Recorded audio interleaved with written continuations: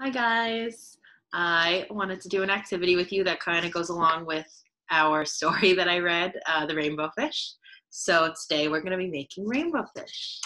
Um, I got started on mine a little bit, but not crazy yet. I colored my paper plate with blue crayon and I drew an eye. That might be the, the drawing of the eye part, obviously, will be something that mom or dad or whoever's watching you guys will have to do. Um, it's also optional. You don't have to have an eye on your fish if you don't want. But I drew a little white eye on mine and I colored mine blue because that's the color of rainbow fish. But you don't have to color in blue. You can color in whatever color you want. And it doesn't have to be totally filled in either. Now, what I'm going to do, which also an adult will have to do, is cut his mouth.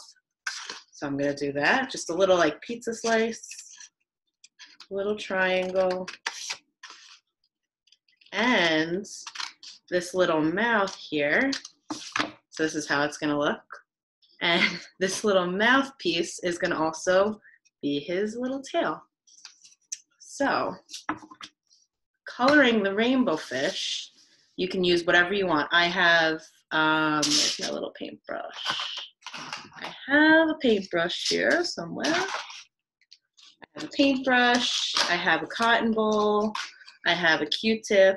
The only thing I don't have that I know lots of you guys love painting with are little sponges.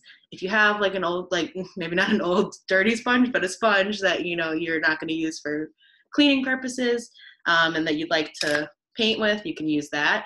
Um, but otherwise, could use whatever you like. Paintbrush would be fine. So what I did, I have these acrylic paints here, just different colors. I put it on a little paper plate, and I would just, you know, use whatever, you know, material you wanted to paint with and just put the color right on your rainbow fish. And then it's gonna be like a rainbow colored fish because that's how he looks in the story. And so I'm just gonna go ahead and paint it up. Different colors. I'm just using the paintbrush here for example purposes for now. But if you want, I can show you with some other material too, like a Q-tip, how your little guys do at school. So I'm just applying the color all over. Doesn't have to be in any order, obviously. Just dipping and painting. This is good for fine motor. And everybody, they all love to do this in the classroom. This is kind of how we set the kids up to paint in school too. Give them a paper plate and then they can dip.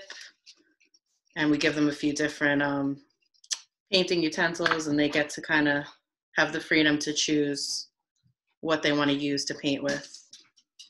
So I'm not to go crazy on this guy, but as you can see, I've just put different colors all over him. And then, or her, could be a little girl rainbow fish too. I just took a little strip of tin foil here and this is to be his one shiny scale because he used to have all shiny scales, but then he got to share his shiny scales with his friends, and now he has a bunch of friends and one shiny scale left. So the only thing I don't have here today is glue. Um, you could use a staple, you could use glue, whatever is easier for you. But um, what I would do is connect this little pizza square here to the back, and that's his little tail fin. And you can make that, it doesn't have to be, it could be whatever size you want for his little shining scale. I'll just leave it like this and I'll use a little, we'll use a little paint to stick this little shining scale on him. And there you have it. This is the rainbow fish. There you go. there he is. Hope you guys enjoy it.